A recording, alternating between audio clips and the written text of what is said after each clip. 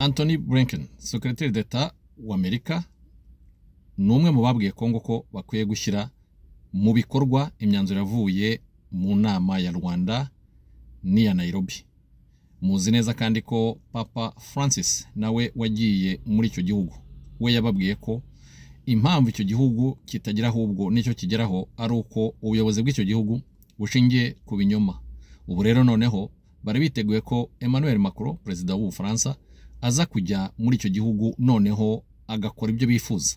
Kunenga u Rwanda cyangwa kuruvuga nabi cyangwa kuvuga ko ari rwo nyirabayazana.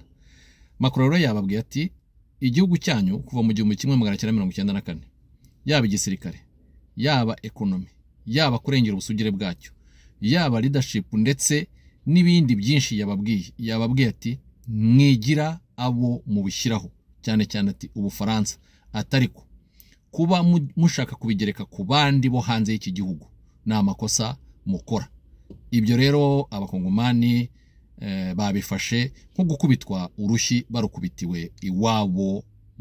Et depuis 1994, c'est pas la faute de la France, pardon de le dire dans des termes aussi crus, vous n'avez pas été capable de restaurer la souveraineté, ni militaire, ni sécuritaire, ni administrative de votre pays. C'est aussi une réalité. Il ne faut pas chercher des coupables à l'extérieur de cette affaire.